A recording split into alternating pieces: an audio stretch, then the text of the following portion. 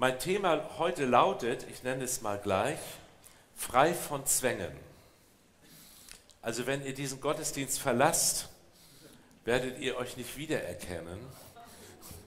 Wie befreit ihr äh, da im Foyer dann sein werdet. Einer sagt Halleluja, die anderen denken Halleluja. Das ist ja das Schöne. Wir beten ja im Stillen. Ähm, und ich lese einmal aus dem zweiten Korintherbrief einige Verse vor. Zweiter Korintherbrief, Kapitel 10, Vers 3 bis Vers 6. Und zwar aus der Luther-Übersetzung. Denn obwohl wir im Fleisch leben, kämpfen wir doch nicht auf fleischliche Weise. Denn die Waffen unseres Kampfes sind nicht fleischlich, sondern mächtig im Dienste Gottes Festungen zu zerstören. Wir zerstören damit Gedanken und alles Hohe, das sich erhebt gegen die Erkenntnis Gottes und nehmen gefangen alles Denken in den Gehorsam gegen Christus. So sind wir bereit zu strafen allen Ungehorsam, sobald euer Gehorsam vollkommen geworden ist. Ich lese es einfach nochmal vor, weil einem solche Verse mitunter nicht sofort zugänglich sind, dass wir uns noch einmal darauf konzentrieren können. Denn obwohl wir im Fleisch leben, kämpfen wir doch nicht auf fleischliche Weise. Denn die Waffen unseres Kampfes sind nicht fleischlich, sondern mächtig im Dienste Gottes, Festungen zu zerstören. Wir zerstören damit Gedanken und alles Hohe, das sich erhebt gegen die Erkenntnis Gottes und nehmen gefangen alles Denken in den Gehorsam gegen Christus.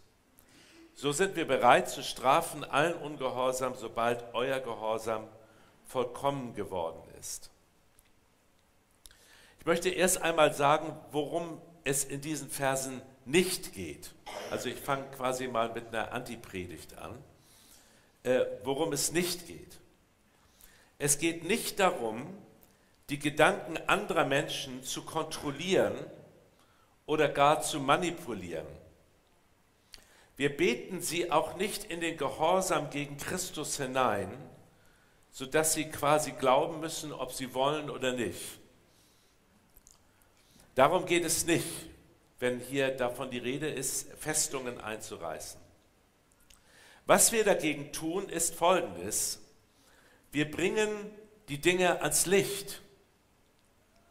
Dort erkennen wir die wahren Hintergründe. Und ich sage gleich schon mal einmal im Voraus, wir bringen zuerst unsere Dinge ans Licht und nicht die der anderen. Auch nicht von Präsident Trump. Selbst die nicht, sondern erst einmal unsere. Das ist ja auch eine Sache, da sagt Jesaja ja etwas drüber, dass wir aufhören sollen mit dem Fingerzeigen.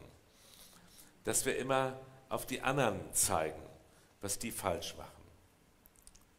Was es auch nicht bedeutet, ist Folgendes. Unser Leben, unser aller Leben verläuft immer in Grenzen. Unser Körper ist nicht unbegrenzt strapazierfähig. Also ich meine, wer das noch nicht erkannt hat, ich denke, das ist eine Frage der Zeit, dann merkt man es. Einige nicken voller Verständnis, ja. Meine oh, ganz und gar nicht. Ne? Auch unsere Seele ist nicht immer strapazierfähig und nicht unbegrenzt. Auch unsere Persönlichkeit begrenzt uns. Wir können nicht einfach jemand anders sein. Können wir nicht. Wir sind zeitlich begrenzt, wir können nicht alles tun. Wir sind räumlich begrenzt, können nicht überall sein, nicht auf allen Hochzeiten tanzen. Unser Denken ist begrenzt, wir können nicht alles begreifen, obwohl wir es ja gerne manchmal täten. Und auch unsere Gefühle sind begrenzt. Wir können nicht für jeden Menschen gleich empfinden. Das ist so. Das ist so. Ne? Wir sind begrenzt. Und wenn Jesus jetzt zum Beispiel an einer anderen Stelle sagt, wer glaubt, kann alles, bedeutet das nicht plötzlich, dass wir grenzenlos sind. Und wenn es darum geht, Festungen zu zerstören, bedeutet das jetzt nicht plötzlich, dass wir in ein unbegrenztes Land mit unbegrenzten Möglichkeiten hineintreten. Jetzt sind wir wieder beim Thema.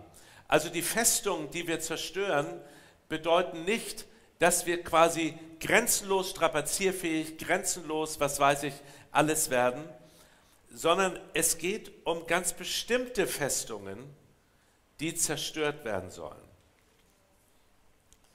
Es geht nämlich darum, dass wir frei werden von Gedanken und Gefühlen und inneren Zwängen, die im Widerspruch zu Gottes Wort stehen, zu Gottes Wort und Gottes Absichten mit uns. Also diese Festungen, von denen hier die Rede ist, wo man ja gerne schnell auf andere guckt, aber die sind erstmal für uns gemeint.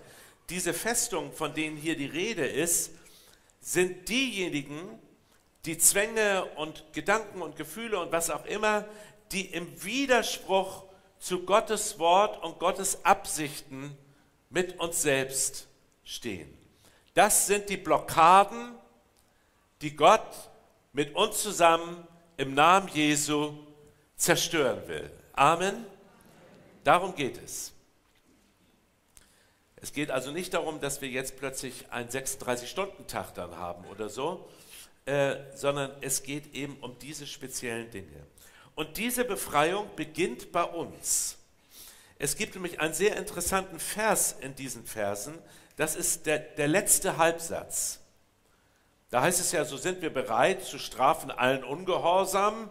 Ne, das klingt ja erstmal merkwürdig, sollen wir jetzt also strafend durch die Landen ziehen? Aber dann kommt so ein kleiner Nachsatz. Sobald euer Gehorsam vollkommen geworden ist. Und das bedeutet schlichtweg, die gesamte Geschichte beginnt bei uns. Sie beginnt bei uns. Und was dieses Strafen bedeutet, darauf gehe ich später noch ein. Also, daran erkennen wir, dass es bei uns beginnt sobald euer Gehorsam vollkommen geworden ist. Nun frage ich mich, was sind das denn eigentlich für Festungen? Also wovon redet Paulus hier eigentlich? Woran erkennen wir diese Festung? Was will Gott, dass wir es in seinem Namen und mit seiner Kraft quasi einreißen? Was will er in unserem Leben verändern? Was soll auch an Behinderungen aus unserem Leben verschwinden? Nun, ich habe schon gesagt, das, was im Widerspruch zu Gottes Wort und Gottes Absichten ist, und das können wir eigentlich ganz einfach mal ablesen. Wir müssen nur zum Beispiel mal durch die Bergpredigt gehen. Das ist nur ein Beispiel, aber die Bergpredigt ist ja voll von Jesu Worten an uns, an seine Gemeinde. Und fangen wir mal einfach an. Also alles, was uns abhält, Licht dieser Welt zu sein oder Salz der Erde, das soll eingerissen werden. Das soll überwunden werden. Das ist eine Festung, die uns quasi von unserer eigentlichen Bestimmung abhält. Alles, was uns davon abhält, Licht in dieser Welt zu sein. Und Jesus beschreibt das ja. So lasst euer Licht leuchten, damit die Menschen eure guten Taten sehen und den Vater im Himmel preisen. Und dann sagt er ja auch, dass es nicht etwas gibt, was, wie soll ich sagen, das Licht ausmacht, sondern er spricht ja davon, ihr sollt euer Licht nicht unter den Scheffel stellen. Das heißt, das Licht ist uns geschenkt. Jesus hat uns das Licht geschenkt. Christus in uns. Wenn wir ihn aufgenommen haben, ist er unser Licht. Amen sondern es geht eher um den Scheffel, also um das, was um dieses Licht herumkommt, was dieses Licht vor anderen verbirgt. Also alles das, was Jesus in deinem Leben und in meinem Leben an Leuchtkraft hineingegeben hat, das soll auch nach außen sichtbar werden. Das ist sein Wille. Und alles das, was es verdeckt, in irgendeiner Art und Weise, das soll zerstört werden. Davon redet die Bibel. Also wenn zum Beispiel das Licht, was er in uns angezündet hat, die Liebe ist. Und ich versuche jetzt äh, zu meiner Arbeit zu gehen oder zu, in, in meinen Verein oder in meine Familie oder so. Und jetzt möchte ich mein Licht so richtig leuchten lassen. Äh, es ist ja seine Liebe, die in unser Herz gegossen ist. Und nun möchte ich das richtig leuchten lassen. Und da kommt mir irgendeiner so ein bisschen dumm. Und sofort geht da innerlich was hoch. Das kann man nicht gerade Licht nennen, was da hochgeht. Meine Adern schwellen an. Und ich habe irgendeine spitze oder zynische Bemerkung oder man sieht an meinem Gesichtsausdruck alles andere als Freundlichkeit und so weiter und so fort dann, ja, was ist das? Das ist natürlich etwas Menschliches. Das ist normal, menschlich. Aber es schiebt sich plötzlich zwischen Christus in mir und Christus aus mir heraus. Das schiebt sich dazwischen. Und wenn sich etwas dazwischen schiebt, dann sagt uns die Bibel, dass Gott mit uns zusammen das einreißen will. Er will nicht, dass sich das immer dazwischen schiebt. Ich kann natürlich sagen, ja, so bin ich nun mal und das ist doch menschlich und jetzt, du, lieber Herr, du wirst mich doch deswegen nicht verurteilen. Nein, er verurteilt uns ja auch nicht, sondern er hat uns ja vergeben, aber er möchte, dass unser Licht nach außen leuchtet und wenn sich Dinge dazwischen schieben, dann will er mit uns zusammen das quasi einreißen damit das Licht durchbrechen kann und nicht unter einem Scheffel steht. Darum geht es. Oder ihr seid das Salz in der Welt. Das heißt ja, dass wir quasi in dieser Welt auch uns nicht zurückziehen. Also Salz in der Welt, oder ich sage mal ganz simpel, Salz in der Suppe ist kein Salz in der Suppe, wenn das Salz nicht in die Suppe kommt. Das ist tiefste Philosophie. Ne, das ist also, sagen wir mal, ein... Aber ihr habt es verstanden. Also Salz in der Suppe ist dann kein Salz in der Suppe, wenn das Salz nicht in die Suppe kommt. Wenn ihr etwas mitnehmt nach Hause und man fragt euch, was wurde gepredigt, Salz in der Suppe ist dann kein Salz in der Suppe, wenn das Salz nicht in die Suppe kommt. Das heißt, Salz in dieser Welt ist nur dann Salz in dieser Welt, wenn das Salz auch in der Welt ist. Das heißt, wenn wir in dieser Welt sind und uns nicht zurückziehen von den Menschen, sondern wenn wir dort sind, wo die Menschen sind, wir sind nicht, sagen wir mal, wir sind nicht wie, wie sie. Das ist schon richtig, denn wir sind ja aus Christus von neuem geboren, aber wir sind unter ihnen. Wir sind wie Salz unter ihnen, um äh, auch etwas von dieser Leuchtkraft, das gehört ja alles zusammen, Jesu leuchten zu lassen.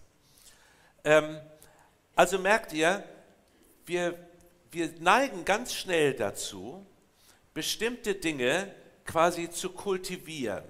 Also wenn sich zum Beispiel etwas dazwischen schiebt, meinetwegen meine, meine Wut oder auch meine Ängstlichkeit oder meine Schüchternheit, wenn sich irgendetwas dazwischen schiebt, was das Licht nicht nach außen leuchten lässt, dann kultivieren wir das ganz schnell und sagen, so bin ich nun mal. Aber genau das will Gott nicht, sondern Gott will das einreißen, denn er hat eine Berufung und eine Bestimmung für einen jeden von uns. Und eine dieser Berufungen ist, dass unser Licht nach außen leuchtet. Also alles, was sich dazwischen schiebt, muss eingerissen werden. Das ist zum Beispiel ein eine solche Festung. Oder Zorn und abfällige Worte, Gedanken, das ist auch etwas, was in der Predigt, Bergpredigt vorkommt. Zorn und abfällige Worte, das ist eine Festung und die schiebt sich dazwischen. Am Ende, eigentlich ist es ja dieser, dieser Satz mit dem Licht und dem Salz, das ist ja wie so eine Art Präambel, das ist ja eine Überschrift über die ganze Bergpredigt. Und zum Beispiel Zorn und abfällige Worte schieben sich dazwischen. Wenn, es ist mir schon manchmal passiert, dass ich mit irgendwelchen Leuten ins Gespräch kam, wo jemand aus der Gemeinde oder ein Christ, den ich kannte, arbeitet, also in derselben Firma. Und dann äh, sage ich, oh, kenne ich, geht hier in die Gemeinde oder kenne ich, ist Christ oder so. Und dann kommt plötzlich, was? So ein Stinkstiefel. Und dann denke ich, ei, ei, ei, jetzt hast du echt ein Problem. Wie, wie erklärst du jetzt, dass ein Stinkstiefel errettet sein kann? Äh, aber Gott errettet auch Stinkstiefel, das ist wahr.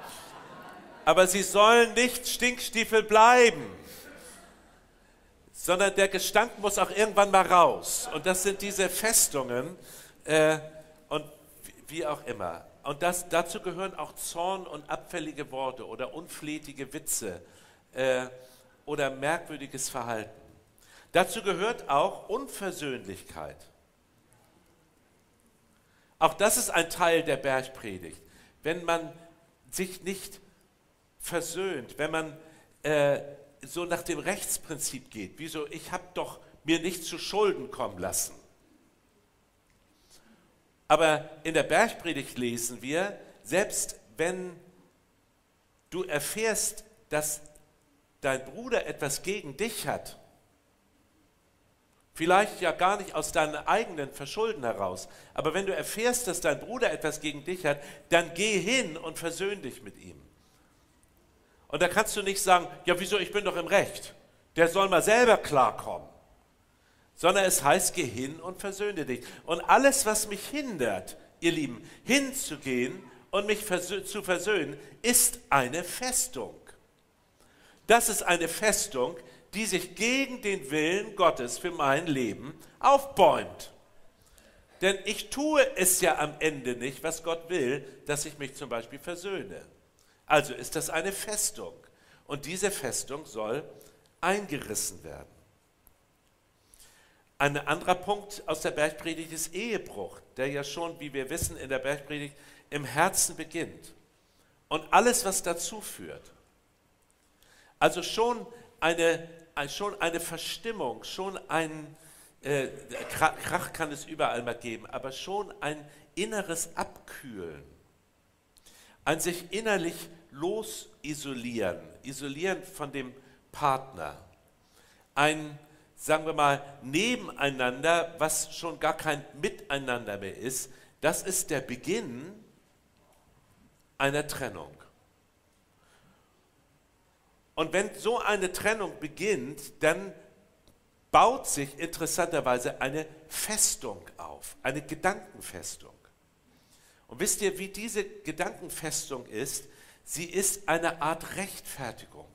Ja, wenn meine Frau mal ein bisschen hier oder ein bisschen da mehr wäre, dann wäre ich ja auch mehr geneigt und so weiter und so fort. Oder wenn mein Mann mal ein bisschen netter wäre oder äh, was weiß ich, sich nicht immer so merkwürdig verhalten würde, äh, dann äh, könnte ich ihn ja auch wieder akzeptieren oder respektieren und so weiter. Und da bauen sich also solche Gedanken auf, die im Grunde genommen das rechtfertigen, dass man sich allmählich auseinander dividiert. Das beginnt ja nicht gleich mit einem fetten Ehebruch, also in den meisten Fällen nicht, sondern es beginnt so ganz allmählich. Man lebt sich quasi auseinander. Und das ist ja jetzt diese Festung, es bauen sich Gedanken in uns auf, die das rechtfertigen. Ein Pastor in unserem Bund, der hat Ehebruch begonnen, begangen, der war sogar im Vorstand mit, äh, fiel in den Ehebruch und das war dann auch ganz schlimm, die ganze Ehe ging kaputt und so weiter. Äh, aber der hat einmal erzählt, wie das begonnen hat. Und das war ganz interessant.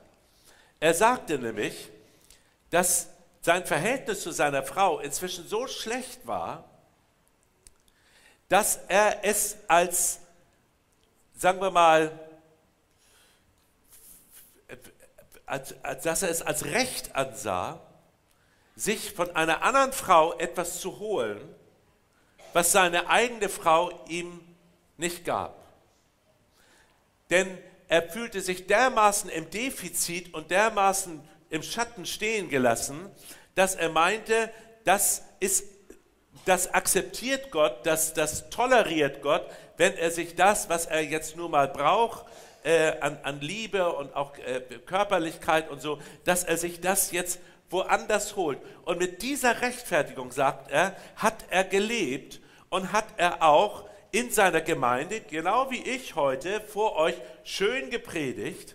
Es hat auch niemand gemerkt. Äh, also jetzt bezieht es mal bitte nicht auf mich. Äh, äh, äh ne? Aber es hat auch niemand gemerkt und auch in den Vorstandsetagen und so hat es niemand gemerkt, bis es dann plötzlich rauskam. Und da erzählte er, dass er sich so tarnen konnte, lag daran, weil er sich selbst eine Rechtfertigung in sich aufbaute und sich selbst quasi als richtig empfand, was er tat. Und das, ihr Lieben, sind Gedankenfestungen. Man arrangiert sich mit bestimmten Dingen, man baut Gedanken auf, die das rechtfertigen und die stehen jetzt wie riesige Festungen da und geben dir selbst den Eindruck, das, was du jetzt im Moment machst, ist gar nicht so falsch. Und jetzt leuchtet plötzlich das Licht Gottes mal da rein und sagt, das ist absolut falsch. Und jetzt geht es los, diese Festungen, diese Rechtfertigungsgedanken, diese Selbstrechtfertigung einzureißen. Das werden wir natürlich nur dann tun, und deswegen können wir das auch nicht so in die Welt heraus posaunen, das werden wir nur dann tun, wenn wir in der Tiefe unseres Herzens wissen, dass Christus unsere Rechtfertigung ist. Wir brauchen überhaupt keine rechtfertigenden Gedanken weil er unsere Rechtfertigung ist. Aber dann sehen wir natürlich auch die Dinge, die nicht so gut laufen. So zum Beispiel beim Ehebruch oder auch bei der Ehescheidung. Ich halte das nicht mehr aus. Das habe ich schon oft gehört. Und was führt dazu, dass man es nicht mehr aushält? In den meisten Fällen, die ich erlebt habe, sind das oft Begrenzungen der Persönlichkeiten. Da sind zwei Leute und irgendwie können die sich nicht mehr weiter aufeinander zubewegen. Also am Anfang war es noch irgendwie so, aber dann, dann verharren sie in ihrer Sturheit, wie so zwei Sturköpfe. Und können, schaffen es nicht mehr, sich aufeinander zu bewegen, zuzubewegen. Aber daraus besteht nun mal Liebe dass man sich aufeinander zubewegt. Wenn wir sagen, wir lieben Jesus, dann bewegen wir uns doch auf ihn zu. Wir heben sogar die Arme. Und wenn wir sagen, Jesus liebt uns, dann bedeutet das doch nicht, dass da ein Sturkopf im Himmel sitzt, der sagt, entweder Sie machen das jetzt so wie ich oder du kannst du schon mal alles vergessen. Ne?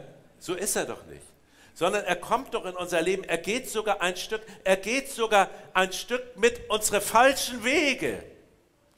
Er hat uns schon geliebt, als wir noch Sünder waren und auch wenn wir jetzt nicht immer ganz richtig gehen, geht er mit, weil er uns nahe sein will. Was sich liebt, geht doch aufeinander zu. Und wenn da plötzlich so in den Persönlichkeiten verhaftete Menschen sind, die so gar nicht mehr verrückbar sind, also bei extrem Verkalkten kann man sich das ja vielleicht noch vorstellen, aber das ist ja erst ab 110.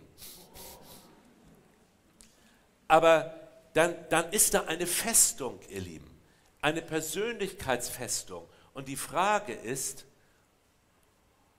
ob Gott dir nicht helfen will, die mal einzureißen. Dass du nicht in deiner eigenen Persönlichkeit völlig verharrst und bewegungslos bist und der andere ist eben anders. Und dann ist das alles immer schrecklich. Und dann lebt man nur noch so nebeneinander, bis man irgendwann es nicht mehr aushält. Ja, das kann man dann auch nicht mehr aushalten. Man sagt ja so schnell, niemand kann über seinen Schatten springen. Das stimmt. Niemand kann über seinen Schatten springen. Ähm, äh, äh sag mal, Axel, du hast ja doch so eine wunderbare Leuchte da oben. So eine ganz helle. Kannst du die mal anschalten? Funktioniert die? Gestern hatte sie nämlich da angebracht. Ich möchte mal ein Experiment. Ja, leuchte mal auf mich. Kriegst du das hin? So, ja. Nee, ich möchte mal, dass ihr meinen Schatten seht. Äh, wo stelle ich mich mal hin, dass ihr den Schatten seht? Ja. Na, hier, hier. Achso, könnt ihr ja nicht sehen. Ja. Na gut, ich gehe mal an diese Wand. Jetzt müssen wir das Experiment machen. Okay, Axel, hier sind wir. Könnt ihr, mein, könnt ihr meinen Schatten sehen? Ne? Nehmen wir mal den Schatten. Ich kann ja nicht über diesen Schatten springen. Der geht ja immer mit. Ne? Ärgerlich. Es sei denn, ich bin Peter Pan. ne? Aber wisst ihr, was geht? Das Licht kann sich verändern. Lass doch meinen Schatten mal wandern. Ah, ja, genau. Ne? Irgendwie noch nicht so ganz. Ach, guck mal, hier ist er jetzt. Ne? Gut, hier sind zwei Schatten. Ne? Ihr denkt wahrscheinlich, der Mann hat einen Schatten. Äh, also, gut, Experiment halb gelungen. Wenn das Licht sich verändert, verändert sich auch der Schatten. Gott kann das Licht verändern. Gott kann die Dinge um dich herum so verändern, dass du tatsächlich über deinen Schatten springen kannst. Gott kann deine Persönlichkeit so verändern, dass du wirklich anders wirst. Glaubst du das? Gott kann das. Gott kann das. Menschen müssen nicht wie Sturköpfe nebeneinander leben, sondern Gott kann verändern. Könnt ihr ein Amen dazu sagen? Ja. Also das mal für solche Situationen. Dann spricht die Bibel von wahrhaftig sein. Oder sie spricht davon, dem Bösen nicht zu widerstehen. Das ist ja überhaupt ein Hammer, dass Jesus sowas sagt. Dem Bösen nicht zu widerstehen. Wenn sich einer dein Rock nimmt, gib ihm auch noch den Mantel, heißt es. Wenn einer dich auf die eine Wange schlägt, dann reich ihm auch noch die andere. Wenn einer dich zwingt, eine Meile mit ihm zu gehen, dann geh Geh die zweite. Das widerspricht komplett unserer menschlichen Natur und unserem Gerechtigkeitssinn. Das finden wir sowas von falsch. Ne? Stell dir vor, mal ganz wörtlich, dich zwingt jemand eine Meile mit ihm zu laufen. Du bist sowieso nicht so ein guter Läufer und jetzt zwingt er dich eine Meile, das sind 1,8 Kilometer ungefähr. Naja, Jesus hat wahrscheinlich eine andere Meile gemeint nicht die amerikanische, aber wie auch immer. Äh, da zwingt er dich, also so ein Marsch, ne? du bist schon völlig fertig, du bist auch äh, nervlich völlig fertig, weil du ja gar nicht diese Meile gehen wolltest, bist also völlig verärgert, völlig umbrass. Und dann stehst du da und sagst, so, jetzt gehe ich noch eine zweite. Also da ist wirklich Befreiung notwendig. Und ihr Lieben, da bauen sich Mauern auf. Da bauen sich Mauern auf. Das geht jetzt zu weit. Das habe ich doch nicht nötig. So ein Einfallspinsel, mit dem gehe ich doch nicht noch eine Weile zusammen. Erst klaut er mir den Rock, jetzt soll ich ihm noch den Mantel geben. Der Rock war ja billig von Aldi, aber der Mantel, den habe ich doch teuer gekauft. Ne? Also das geht jetzt echt zu weit. Ne? Und mit der Wange, also äh, mein einer Backenzahn ist schon raus. Ich meine, wo soll ich denn jetzt noch kauen, wenn ich ihm noch die andere reiche? Äh, so, das geht einfach zu weit. Das lasse ich mir nicht bieten. Ich muss jetzt auch mal an mich denken. Überhaupt. Ich muss mal an mich denken. Ich hoffe, die Opfersammlung ist heute für mich da. Ich muss ja auch mal an mich denken. Ne?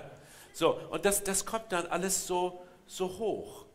Und ihr Lieben, das sind alles Festungen, weil sie dem Worte Jesu widersprechen. Sie entsprechen vielleicht unserem Denken, aber sie widersprechen seinem Wort. Und das ist eine Festung. Und diese Festung will Gott mit uns einreißen. Oder wir sollen, wem, der, der uns bittet, dem sollen wir geben. Wenn, uns, wenn sich jemand von uns etwas leihen will oder der darum bittet, dem sollen wir es geben. Ne? Sitzt da so Alkoholiker und bittet dich um Geld.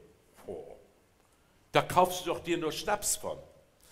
In der Bergpredigt steht nicht, wenn euch jemand um etwas bittet, gebt ihn, es sei denn, er kauft sich Schnaps davon. Ja, aber das ist doch völlig blöd. Kennt ihr die Geschichte von dem in Kambodscha? Der, diesen, ein äh, Pastor und Evangelisten, der hat so eine Geschichte erzählt. Da kam jemand, das war so ein stadtbekannter Säufer, der kam zu ihm und wollte sich fünf Dollar leihen. Und er sagte, nee, da kaufst du das sowieso nur Schnaps für. Und dann ging der wieder weg und dann hat Gott zu dem Pastor geredet und sagt, lies doch mal in meinem Wort. Und was steht da? Wenn dich jemand um etwas bittet, dann gib es ihm auch. Ja, aber, aber, aber, aber nix aber, sagt Gott. Ne? Und dann ist er zu dem hingegangen und sagt, du entschuldige, ich habe mich da falsch verhalten. Hier hast du deine 5 Dollar. Und das hat dazu geführt, dass dieser Alkoholiker irgendwann in seinen Gottesdienst kam und sagt, sowas ist mir noch nie passiert. Dass jemand das abgelehnt hat und dann hinter mir hergekommen ist und dann doch äh, das noch gemacht hat. Was ist das für ein Glaube, den du da hast? Und am Ende hat er sich bekehrt und Jesus hat ihn frei gemacht. Aber seht mal, das sind alles Dinge, die, die haben wir nicht in der Hand. Dieses freiwillige Geben, wenn dich jemand bittet, ohne Argwohn, ohne dass man so in das Leben hineinschaut. Ja, was willst du denn damit? Ja, was machst du denn damit? Ja, erstmal die Hosen runter. So sagt man bei der Bank. Erstmal die Hosen runter. Erstmal zeig, zeig mal erstmal deine Finanzen. Wollen wir erstmal sehen, ob du das überhaupt nötig hast und so weiter und so fort. Nein, dieses freiwillige, wenn euch jemand um etwas bittet, Jesus sagt das so einfach, dann gebt. Ja, sag mal, dann sind wir ja bettelarm am Ende. Ja, es sei denn, man hat einen reichen Vater. Haben wir einen reichen Vater? Ja. Man müsste an den Reichtum rankommen. Ne? Ich sage euch, wie man da rankommt. Wenn die Mauern, die man um sich herum gebaut hat, nicht mehr da sind, dann siehst du nämlich auch die Schatztruhe. Die steht nämlich draußen vor deiner Festung. Da steht die Schatztruhe. Erstmal Fenster rein und dann einreißen. Und so weiter in der Bergpredigt. Anderen von Herzen vergeben. Schätze nicht äh, auf Erden sammeln, sondern im Himmel. Ohne Sorgen leben. Zuerst nach dem Reich Gottes und seiner Gerechtigkeit trachten und nicht richten, kein schnelles Urteil über andere fällen und so weiter. Man könnte ja über jedes Ding eine Einzelpredigt halten, aber alles, was sich da aufbaut in unserem Leben, wo wir zum Beispiel dann schnell über andere urteilen, sehr schnell wissen, wer hier schuldig und nicht schuldig ist, sehr schnell wissen, wie die Motivation des anderen ist, sehr schnell ein inneres Urteil sprechen, alles das sind Festungen, die sich in uns aufbauen und dem Wort Gottes widersprechen. Und bei einigen Dingen ertappt sich vielleicht der eine und bei den anderen Dingen ertappt sich der andere. Irgendjemand äh, ertappt sich. Und dann kommen ja noch Dinge dazu. Dann kommen ja noch Zwänge dazu. Paulus sagt einmal, alles ist mir erlaubt, aber nicht alles ist nützlich. Alles ist mir erlaubt, aber ich will mich von nichts beherrschen lassen. Also kommen jetzt auch noch Zwänge dazu, zum Beispiel Süchte, Nikotinsucht, Alkoholsucht, Drogensucht, Esssucht, Magersucht, Pornosucht, Streitsucht, Fernsehsucht, Kaufsucht, Computersucht, Chatsucht, Arbeitssucht gibt es auch, süchtig nach Anerkennung. Punkt, Punkt, Punkt. Also das ist ja ohne Ende. Und dann kommen auch noch Zwänge dazu. Selbstverletzung, Kontrollzwang, Putzzwang, Redezwang und Schüchternheit. Schüchternheit ist auch ein Zwang. Meine liebe Frau hat ja versucht, mal mit Engelszungen etwas in unsere Mitte zu legen. Wenn jemand betet, dann wäre es doch schön, wenn der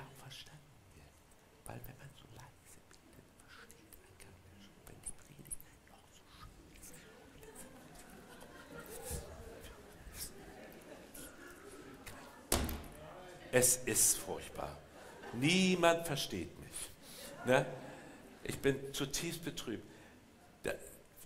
Man wird nicht verstanden, wenn man im Wohnzimmermodus redet. Besonders ohne Mikrofon. Ich schalte es mal.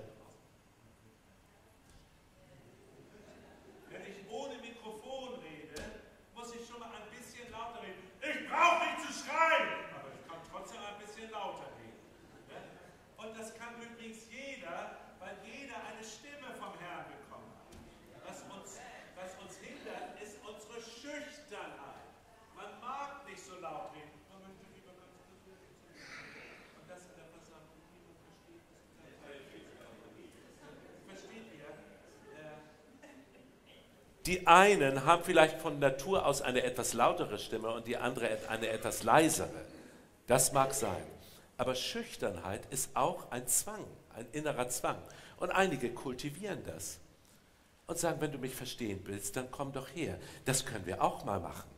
Wenn jemand ganz leise betet, dass alle anderen aufstehen und sich ganz dicht um die Person herumstellen. Ich glaube, spätestens dann wird einiges klar.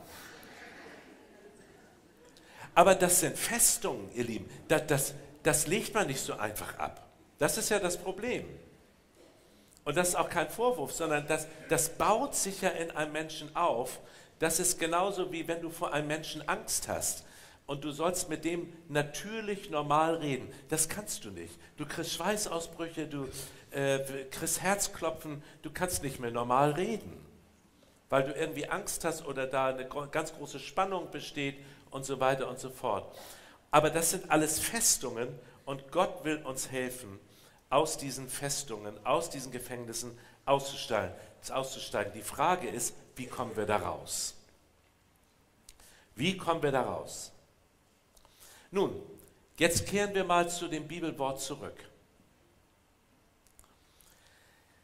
Der Ausstieg aus diesen Festungen, also das Zerstören dieser Mauern, die sich auftürmen, sodass wir am Ende nicht mehr dem Willen Gottes entsprechen, bedeutet, wir zerstören ihre Macht über uns.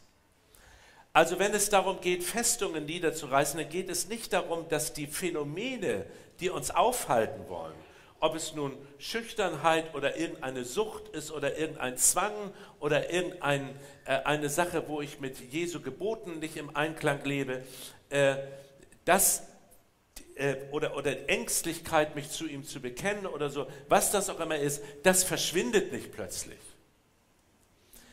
Darum geht es auch gar nicht, dass es plötzlich verschwindet, dass wir also sagen würden, so vogelfrei, ich kann jetzt alles, ich bin so frei. Darum geht es nicht, sondern dass diese Dinge ihre Macht über uns verlieren. Die sind immer noch spürbar da. Wenn jemand zum Beispiel nikotinsüchtig ist und er hört auf zu rauchen, dann verliert die Zigarette ihre Macht. Die Sucht wird erstmal eine Zeit lang noch da sein, auch spürbar sein. Vielleicht auch über, über Tage, Monate und Jahre. Aber die Macht, sie hat nicht mehr die Macht. Sie bezwingt uns nicht mehr. Du musst nicht aus einem fliegenden Flugzeug aussteigen, um deine Zigarette zu rauchen. Ist auch ziemlich ungünstig. Ne? Inzwischen nimmt man ja Nikotinflasse oder Leute fliegen erst gar nicht. Aber es verliert seine Macht. Es geht darum, wenn wir Festungen zerstören, dass diese Dinge, die sich da aufbäumen und uns quasi hindern wollen, das zu tun, wozu Gott uns berufen hat, darum geht es ja. Das ist die Freiheit der Kinder Gottes.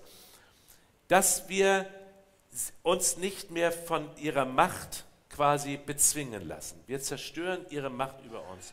Und was bedeutet das? Wie, wie machen wir das? Das Erste ist, wir müssen es ans Licht bringen. Also wir müssen einmal die Sache benennen. Wenn ich zum Beispiel sage, nehmen wir mal Schüchternheit, das so bin ich einfach. Das gehört zu meinem Persönlichkeitstyp.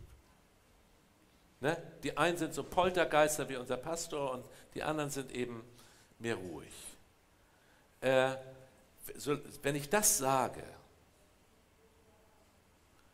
dann werde ich diese Festung nie bezwingen, weil es in meinen Augen ja gar nicht etwas ist, was mich hindert. Ich kultiviere es für mein eigenes Leben.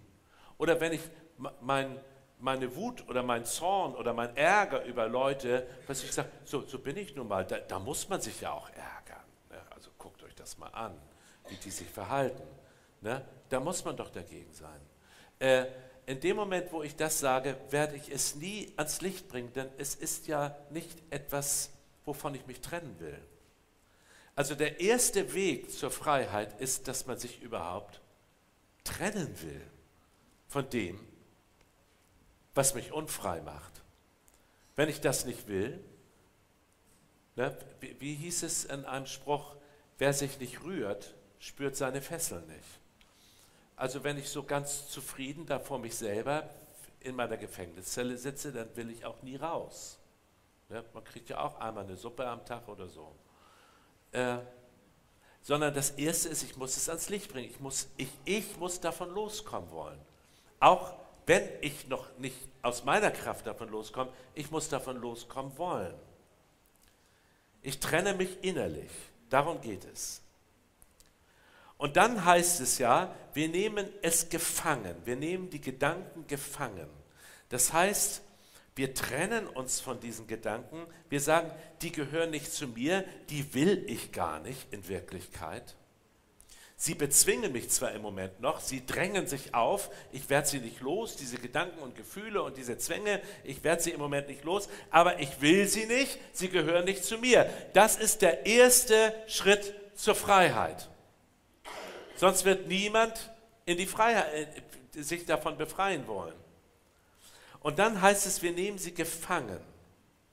Das heißt, wir kümmern uns darum, dass sie nicht zum Zug kommen. Jemand, den man gefangen nimmt, der kommt nicht zum Zug. Der ist zwar immer noch da, aber er kann nicht mehr das tun, was er will. Diese Gedanken können nicht mehr das tun, was sie wollen. Und dann heißt es ja, wir strafen jeden Ungehorsam. Das klingt ja so wie so ein Richteramt oder wie so ein Kerkermeister. Aber das Strafen kann man auch anders verstehen. Wir bewerten jeden Ungehorsam. Das heißt, ich bewerte, dass es bestimmte Dinge in meinem Leben gibt, die nicht richtig sind. Und das sage ich auch. Herr Jesus, das ist nicht richtig, ich komme im Moment nicht davon los, aber ich bewerte es, ich strafe es, ich sage, es ist falsch und ich bitte dich darum, mach mich frei. Wie Paulus mal gesagt hat, das Gute, was ich will, führe ich nicht aus, sondern das Böse, was ich nicht will, das führe, führe ich aus. Damit bewertet er es. Damit sagt er, ich tue etwas, was ich eigentlich gar nicht tun will. Und damit bewertet er es und das sind diese Schritte zur Freiheit. Dann sagen wir nämlich nicht, so bin ich nun einmal, sondern, und das würde ich uns allen empfehlen, sag doch nicht, so bin ich nur einmal, sondern sag, so werde ich einmal sein. So werde ich einmal sein.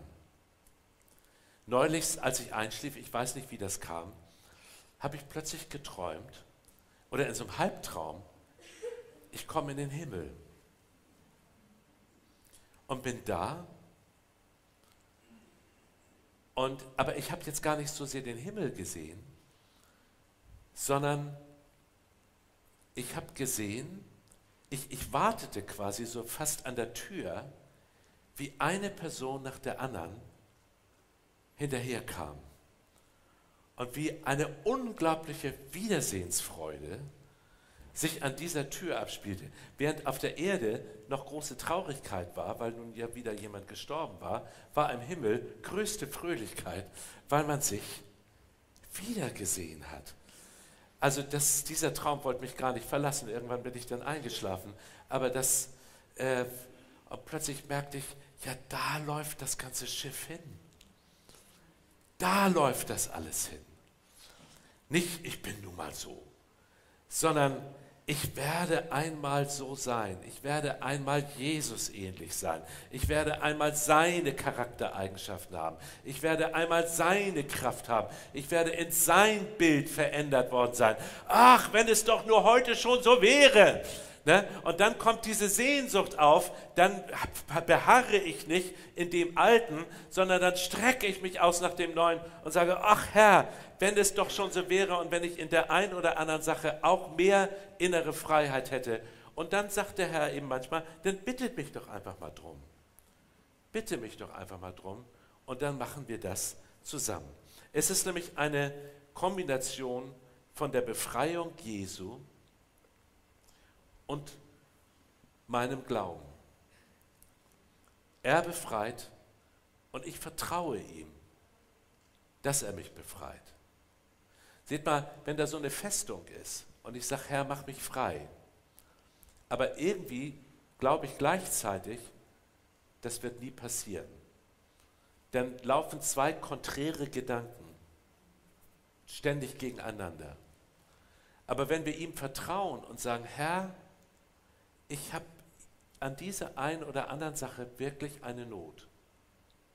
Da ist eine Festung, hat sich eine Festung in mir aufgebaut. Ich lebe unter bestimmten Zwängen. Ich habe eine Not. Mach mich bitte frei.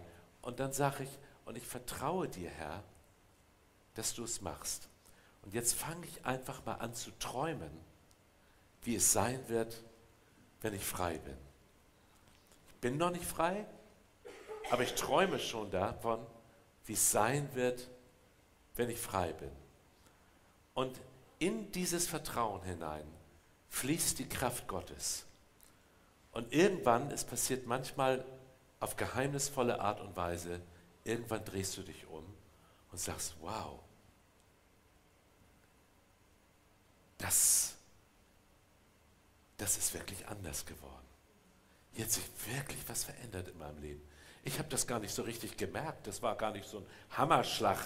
Äh, aber jetzt, wenn ich mich so umdrehe, früher war ich anders. Preis den Herrn.